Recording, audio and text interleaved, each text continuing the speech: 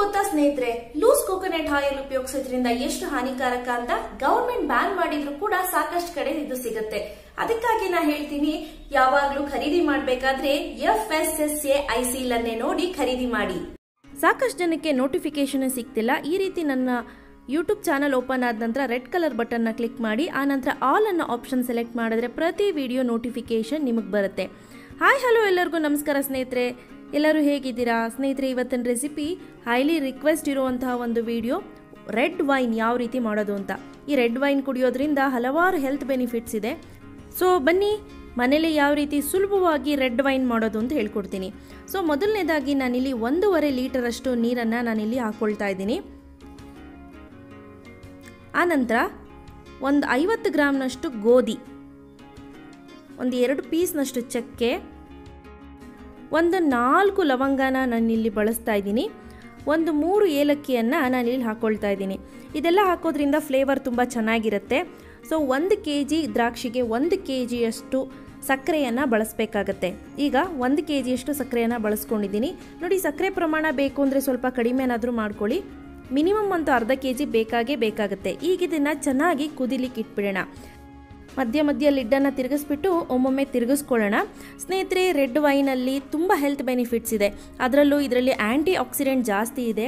ಹಾಗಾಗಿ heart disease ಅಂದರೆ ಹೃದಯಕ್ಕೆ ಸಂಬಂಧಪಟ್ಟಿರುವಂತಹ ಕಾಯಿಲೆಗಳು ಬರೋದು ತುಂಬಾ ಕಡಿಮೆ. ಮತ್ತು ಬ್ಲಡ್ ಪ್ರೆಷರ್ನ ಕಡಿಮೆ ಮಾಡುತ್ತೆ. ಅದಲ್ಲದೆ ಕೊಲೆಸ್ಟ್ರಾಲ್ ಲೆವೆಲನ್ನು ಕಡಿಮೆ ಮಾಡುತ್ತೆ.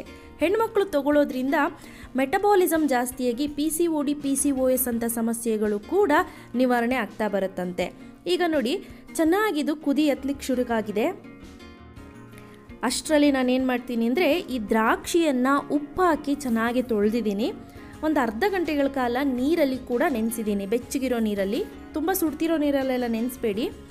ಒಂದು ಅರ್ಧ ಗಂಟೆ ನೀವು ಉಪ್ಪು ಹಾಕಿ ನೆನೆಸಿ ತೊಳೆದು ಹಾಕೋದ್ರಿಂದ ಅದರಲ್ಲಿ ಎಷ್ಟೇ ಔಷಧಿ ಹೊಡೆದಿದ್ರು ಕೂಡ ಕೆಮಿಕಲ್ ರಿಯಾಕ್ಷನ್ ಆಗೋದು ಕಡಿಮೆ, ಗಂಟ್ಲು ನೋವು, ಈ ರೀತಿ ಸಮಸ್ಯೆಗಳು ಬರೋದು ಕಡಿಮೆ. ಈಗ ಅದನ್ನೆಲ್ಲ ನಾನು ಏನು ಮಾಡ್ತೀನಿ ಅಂದರೆ ಆ ಪಾತ್ರೆಗೆ ಹಾಕ್ಕೊಳ್ತಾ ಇದ್ದೀನಿ. ನೋಡಿ, ಸಂಪೂರ್ಣವಾಗಿ ಹಾಕ್ಬಿಟ್ಟು ಇದನ್ನು ಒಂದೊಳ್ಳೆ ಮಿಕ್ಸ್ ಕೊಡ್ತಾ ಮಿಕ್ಸ್ ಮಾಡ್ಕೊಳ್ಳಿ.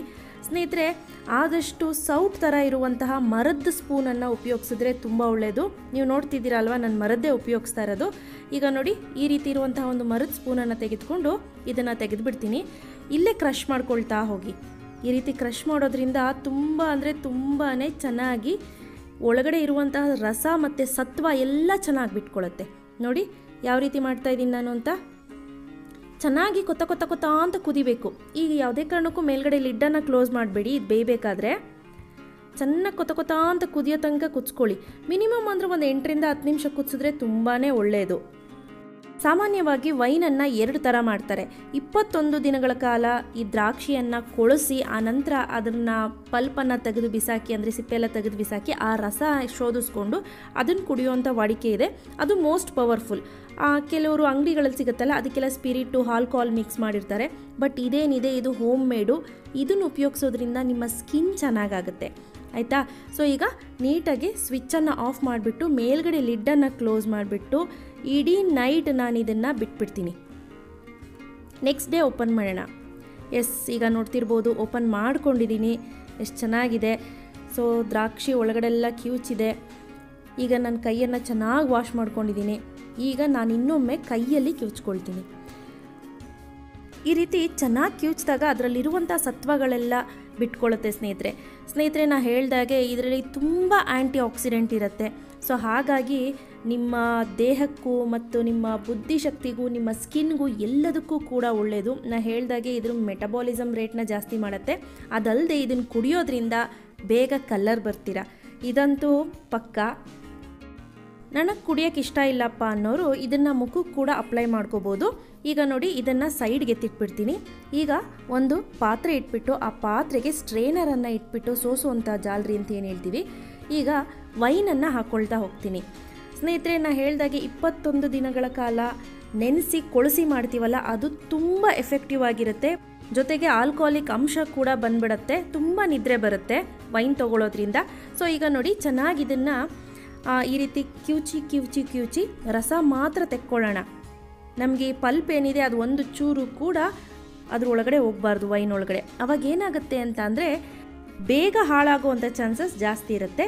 ಸೊ ಇದೇ ರೀತಿ ಎಲ್ಲವನ್ನು ನಾನು ಪ್ಯೂರಿಫೈ ಮಾಡಿ ತೆಗೆದಿಟ್ಕೊಳ್ತೀನಿ. ಈ ಸಿಪ್ಪೆ ಏನಿದೆ, ಇದನ್ನು ಫೇಸ್ ಪ್ಯಾಕ್ಗಾದರೂ ಯೂಸ್ ಮಾಡ್ಬೋದು, ಇಲ್ಲಾಂದರೆ ಡೈರೆಕ್ಟು ಡಿಸ್ಕಾರ್ಡ್ ಮಾಡಿ ಬಿಸಾಡಿ. ಸೊ, ಈಗ ಆಯ್ತಲ್ಲ? ಈಗ ನೀವು ಇದನ್ನು ಗಾಜಿನ ಬಾಟ್ಲಿಗೆ ತುಂಬಿಟ್ಕೊಂಡು ಎರಡು ತಿಂಗಳವರೆಗೂ ಧಾರಾಳವಾಗಿ ಇದನ್ನು ಉಪಯೋಗಿಸ್ಕೋಬೋದು. ಸೊ, ಈಗ ನೋಡಿ ಸರ್ವ್ ಮಾಡ್ತಾ ಇದ್ದೀನಿ. ಹೆಲ್ತಿ ಆಗಿರಲಿಕ್ಕೆ ಮಿನಿಮಮ್ ಅಂದರೂ ಫಾರ್ಟಿ ಎಂ ಎಲ್ ಅಷ್ಟು ವೈನನ್ನು ತೆಗೆದುಕೋಬೇಕಾಗತ್ತೆ. ನಾನು ಕೂಡ ಇದನ್ನು ಕ್ರೋಮಲ್ಲಿ ಗೂಗಲಲ್ಲಿ ಸರ್ಚ್ ಮಾಡಿ ನಿಮಗೆ ಇನ್ಫಾರ್ಮೇಷನ್ ಕೊಡ್ತಿರೋದು. ನೋಡಿದ್ರಿ ಅಲ್ವಾ? ಹೊರಗಡೆ ಸಿಗೋದು ವೈನ್ಗಿನ್ನ ಮನೆಯಲ್ಲೇ ಯಾವ ರೀತಿ ತುಂಬ ಸುಲಭವಾಗಿ ಮಾಡ್ಕೊಳ್ಳೋದು ಅಂತ. ಇವತ್ತು ನಾನು ಕೊಟ್ಟಂಥ ಮಾಹಿತಿ ನಿಮಗೆಲ್ಲರಿಗೂ ಇಷ್ಟ ಆಗಿದೆ ಅಂತ ಭಾವಿಸ್ತೀನಿ. ಇಷ್ಟ ಆಗಿತ್ತು ಅಂದರೆ ಲೈಕ್ ಮಾಡಿ, ಹಾಗೆ ಶೇರ್ ಮಾಡಿ ಕಾಮೆಂಟ್ ಮಾಡೋದು ಮರಿಬೇಡಿ. ಪ್ಲೀಸ್ ನಿಮ್ಮ ವಾಟ್ಸಪ್ ಫೇಸ್ಬುಕ್ ಎಲ್ಲ ಕಡೆ ಇದನ್ನು ಶೇರ್ ಮಾಡಿ. ಯಾಕಂದರೆ ತುಂಬ ಜನಕ್ಕೆ ನೋಟಿಫಿಕೇಷನ್ನೇ ಹೋಗ್ತಾ ಇಲ್ಲ. So thank you. Thanks for watching. Bye.